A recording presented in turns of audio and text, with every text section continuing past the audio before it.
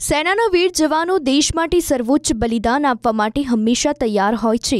પરંતુ આજે એ જણાવીશું કે શહીદના પરિજનો સાથે દુઃખ વહેંચવા સરકાર તરફથી શું શું મદદ મળે છે.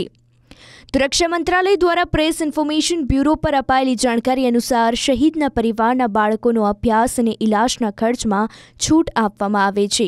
આ સિવાય મિસિંગ સૈનિકોના બાળકોને પણ પૂરી ટ્યુશન ફી મળે છે, સાથે જ સ્કૂલ બસનો ખર્ચ અને રેલવેનો પાસ મળે છે. બોર્ડિંગ સ્કૂલ અને કોલેજમાં અભ્યાસ કરનારા બાળકોની હોસ્ટેલ ફી દર વર્ષે બે હજાર રૂપિયા પુસ્તક ખર્ચ, બે હજાર રૂપિયા સુધી યુનિફોર્મ ખર્ચ અને ઇસીએચએચમાં ફ્રી ઇલાજની સુવિધા. હવે વાત કરીએ શહીદ જવાનના વીર નારીઓની. તો ડીજીઆર દ્વારા પેટ્રોલ પંપની ફાળવણી જેવી કેટલીક પુનર્વાસ યોજનાઓ પણ ચલાવવામાં આવે છે. આ ઉપરાંત નાણાકીય સહાય પણ પ્રદાન કરવામાં આવે છે. સાથે જ એલપીજી ગેસ એજન્સી લેવામાં પણ છૂટછાટ મળી છે. એટલું જ નહીં, આર્મી ગ્રુપ ઇન્સ્યોરન્સ અંતર્ગત પચીસ લાખ રૂપિયા મળે છે. આ સાથે શહીદોની વિધવા પત્નીઓને દર મહિને પેન્શન મળે છે. ઉપરાંત કેન્દ્ર સરકાર દસ લાખ રૂપિયા અને જે જવાન, જે રાજ્યના નિવાસી હોય છે, તે રાજ્ય પણ નાણાકીય મદદ કરે છે.